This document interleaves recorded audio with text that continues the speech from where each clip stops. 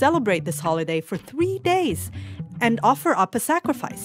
Abraham's close relationship with both his sons certainly paid off. The book of Genesis tells us they came together to bury him in Hebron, in what is known today as the Cave of the